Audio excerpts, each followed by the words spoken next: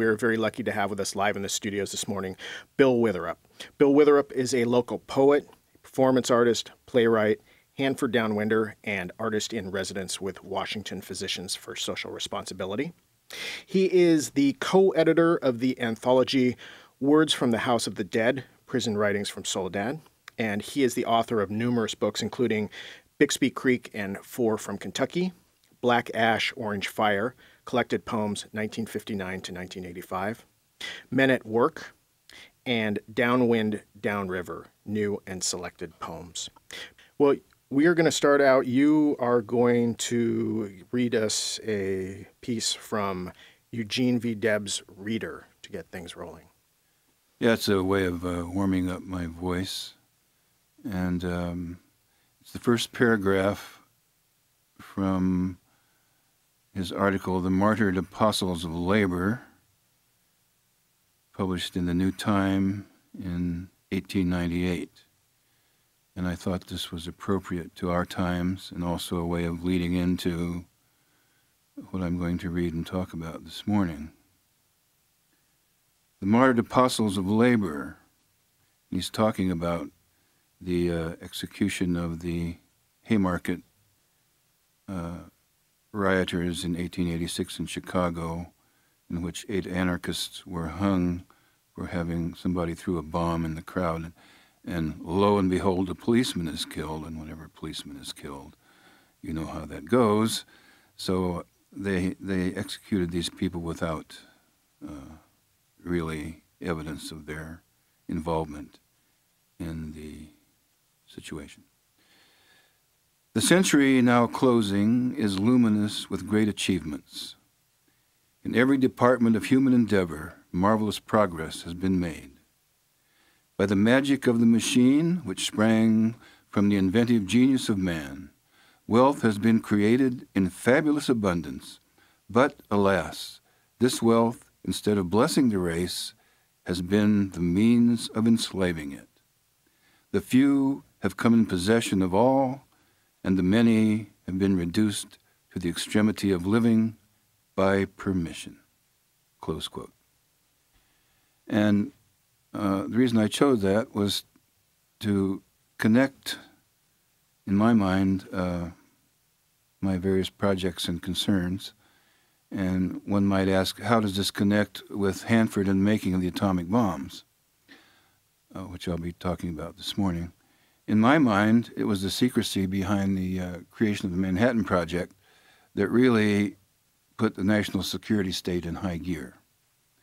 And so compressing history, uh, my connections with Hanford, where my father worked, and my current uh, project, the Gene Debs Labor Ensemble, and also being artist in residence uh, for Washington Physicians for Social Responsibility, involved with uh, my friend Stephen Gilbert's Healthy World Theater, are all of a piece, and so that's kind of the lead in to take it away, Mike.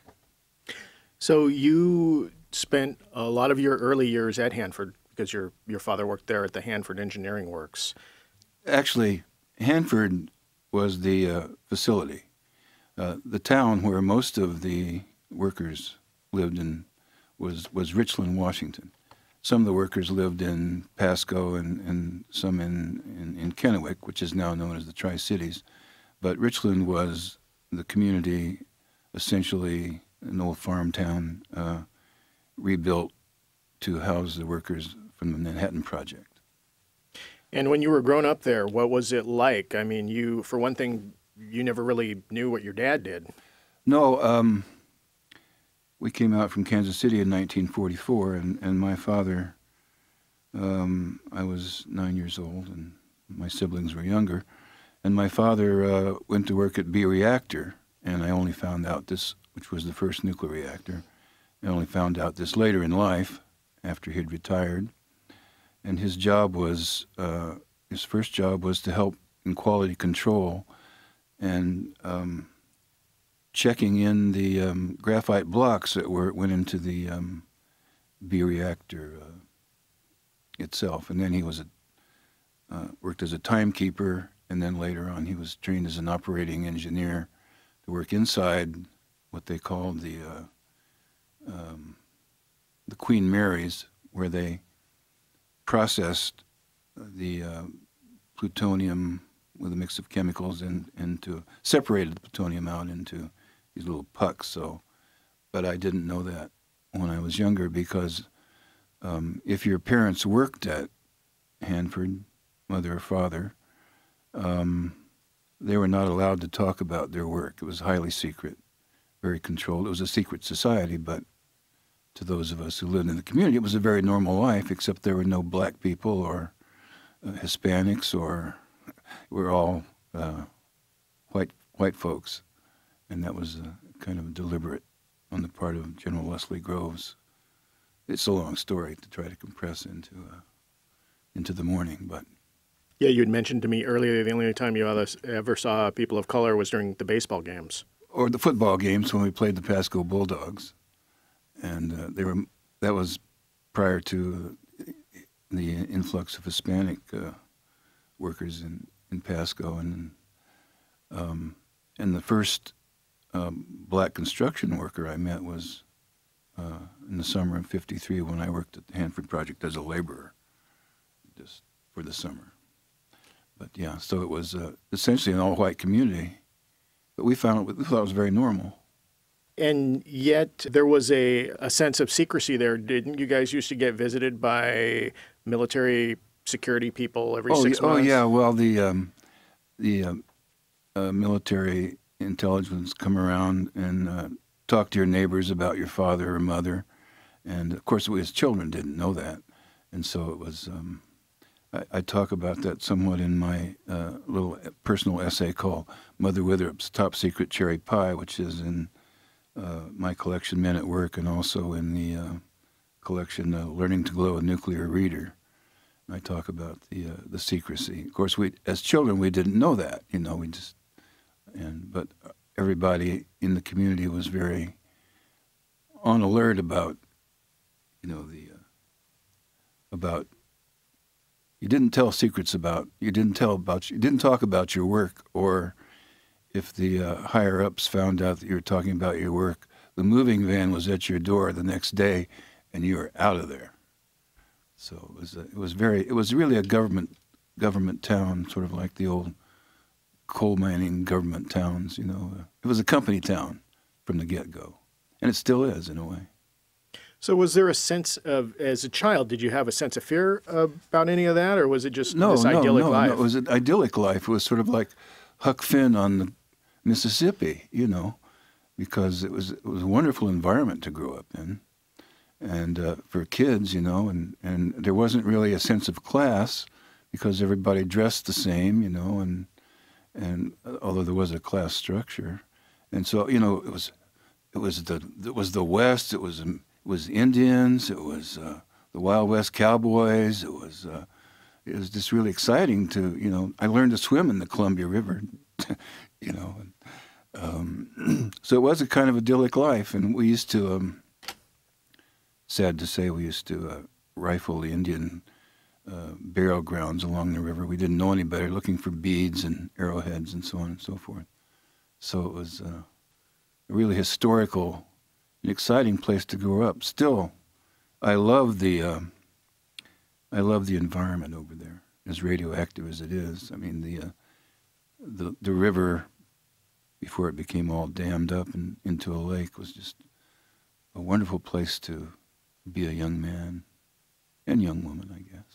And so it wasn't until later, as you became an adult, that you started putting two and two together. Oh yes, because it was it was a very closed society. You, you never heard from pulpit or school any criticism of the Hanford Project. Um, so only later in life, as I became more politically aware, you know, and uh, and began to write and think more about um, nuclear war and and so on and so forth, uh, did I become aware of uh, the incredible history of Hanford. I, I guess I might uh, jump to um, just to a poem that kind of expresses. Uh, um,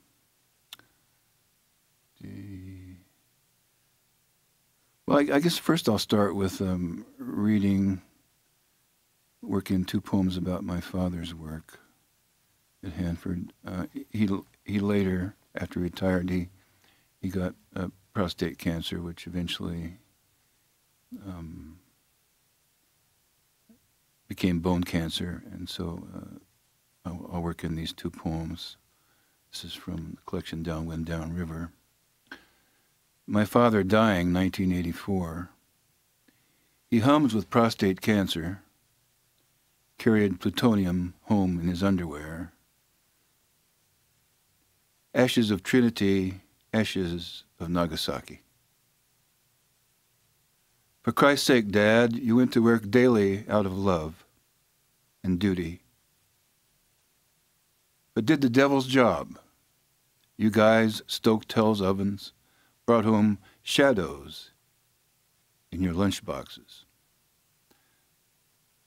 All the discarded radiation badges did not monitor how much your children love you or measure 30 years of labor smoldering in your work pants, or count the sperm spitting across centuries, igniting everywhere karmic fires. My father, of course, was patriotic until his uh, day of his death.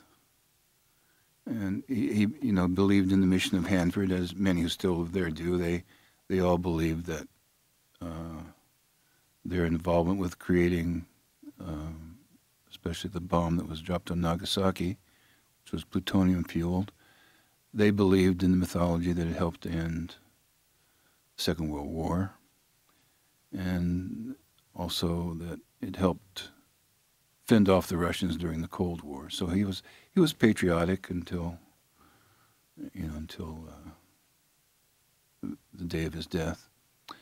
And uh, when I heard my father was dying, I was working in Petaluma as a warehouseman in a pesticide company that, uh, uh, delivered uh, fertilizers and pesticides, I'm sorry to say. And uh, so my mother said, Come home if you want to see your father. And so we had hospice. So I drove all the way in my Volkswagen without brakes from Petaluma, California to spend some time with my father. And and this is the poem uh, about his death. Uh, it ends with an image about trains, uh, and it goes back to in, in, Kansas City. My father used to take me down to the roundhouse to uh, see the trains turn around. Uh, and also, we came out on the train, so trains have a connection to the poem and to the image here. Mervyn Clyde Witherup, born July 14, 1910, died May 12, 1988. Nearing the end, father was all bones and pain. The tumor had eaten him down to the rind. Yet little he complained or whined. Sulfate of morphine eased him somewhat, and he kept his mind and wit, though talking was difficult. A dry wind off the volcanic desert went through each of his rooms, snuffing out cells, left an alkaloid crust on his tongue. We stood by with sponge on a stick when he was assaulted by thirst and images. Give me your hand, he said, and lead me to the water cooler. I've been up in the sky. I'm very tired. Then, irritated with us, he would ask to be left alone he would suck a sponge and grab the lifting bar, be off again, brachiating from cloud to cloud. Is there a station nearby? How do we get out of here? You'll have to help me, son. He died on graveyard shift. The train came for him at 3 a.m. When he ran to catch it, he was out of breath. Um, my father, as did many of the workers, and most of them were young when they when they came to work at Hanford. Either they had uh, did not serve in World War II due to some physical problem, or they came there after World War II, and they were all young people. And my father's did most of the other workers worked shift work all his life, which uh, which, as you know, um, has a wear and tear on your physiology. you know, five days of swings, five days of days, and then they had to they call long change, and then five days of uh, graveyard. So, uh, you know, that takes your takes toll on your uh, on your on your body. So he was in the uh, involved with the conversion of the yellow cake to plutonium pucks. Yeah, yeah, that's what they in the in the uh, these uh, these huge canyons, which they uh, which they after they took the um, irradiated uh, rods over to the um, and then they would uh, add some there were toxic chemicals or corrosive chemicals and it was a very one of the most toxic places to live was actually more toxic than working in the reactor itself because you were also working around all these uh, these are corrosive chemicals as well as um, plutonium slurry. And so, although they worked behind windows, you know, with these automatic um, arms and so forth and hands, and they wore these paper paper suits and booties, you know, stuff gets into your system, you know, as it does into the prostate in my father's case. So, yeah, it's a highly toxic place, and it still is. So much of that now resides in those. Uh, I mean, a lot resides in the tanks. The what is it, 140 something multi-million gallon tanks that are leaking into the Columbia River. Yeah.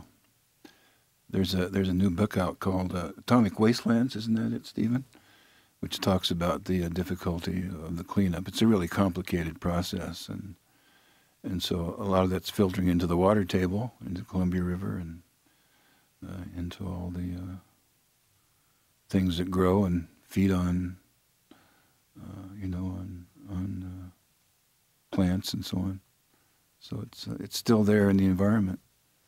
And B reactor, which your father worked at, they're currently looking at turning into. I believe they've made a decision to turn it into a museum, a historical site. Right, a national monument. Uh, it's sort of like making Dachau a national monument. I guess you can visit Dachau or Belsen, and um, uh, uh, I guess it's been about oh maybe eight or nine or ten years ago that I visited Hanford with um, WPSR and some some uh, scientists from uh, and and educators from um, Chelyabinsk, Russia, and and as we went uh, toward the uh, situation, it just was very overwhelming to me because it was there's just a lot of death out there. You just sense the death that you know uh, humans and animals.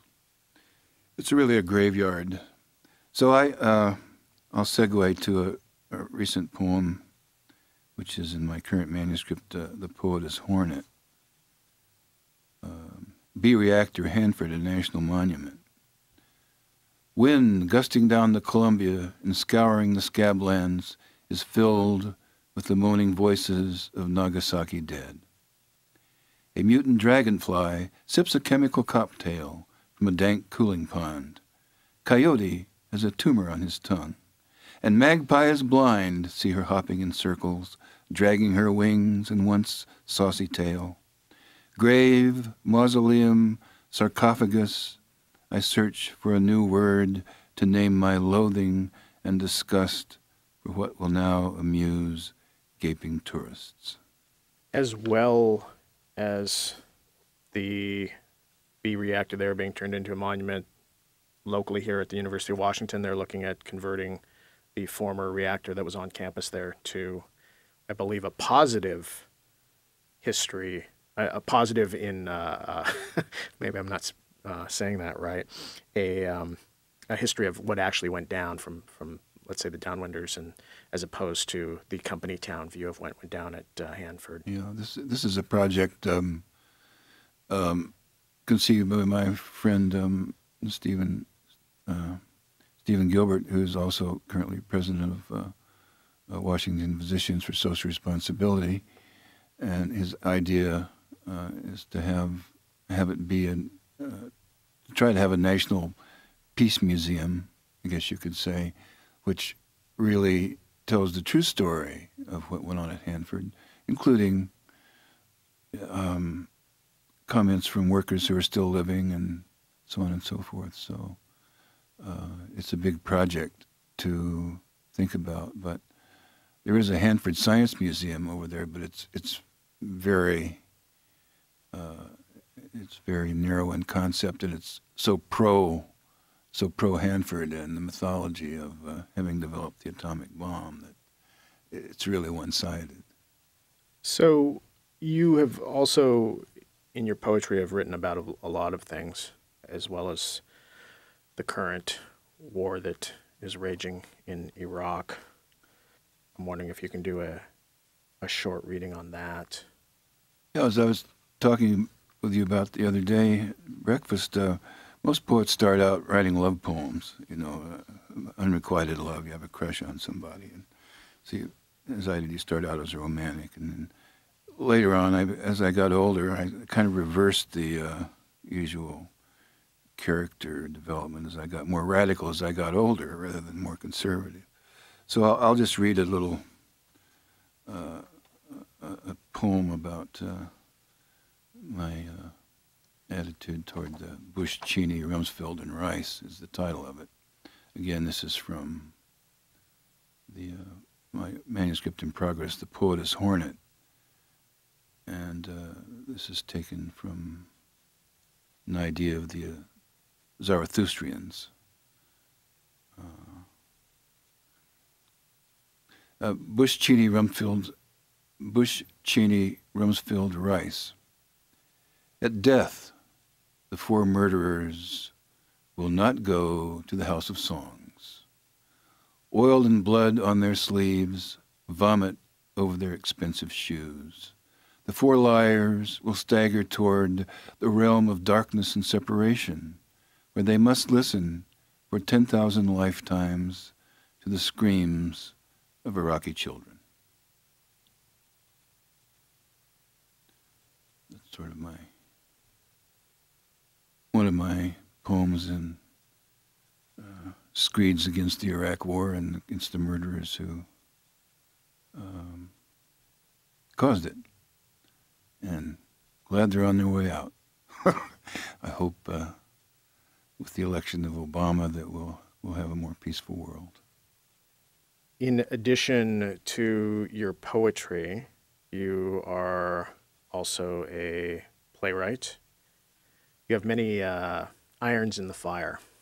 I have too many irons in the fire. yeah, uh, my computer just crashed.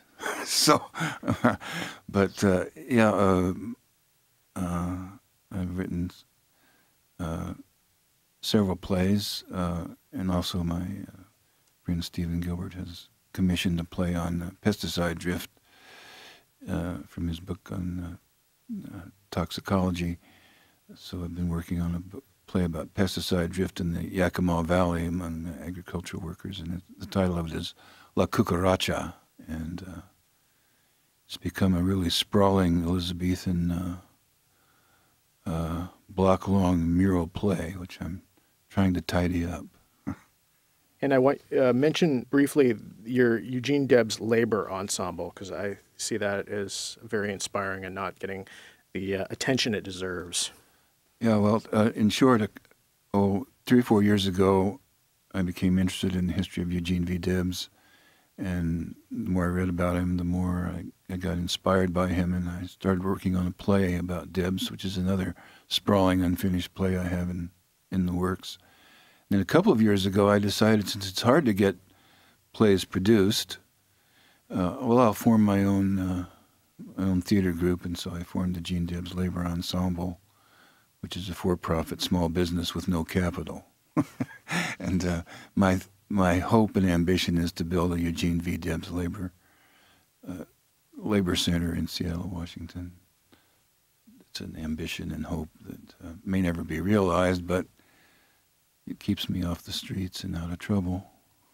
All right, and I know you have a a website in addition to your books www.debslaborensemble.org. It's okay, debslaborensemble.org. It's, it's all one, all one uh, enjammed word.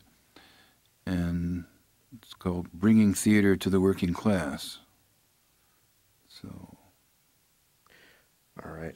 I'm looking for um, George Soros or or somebody to uh, fund my project.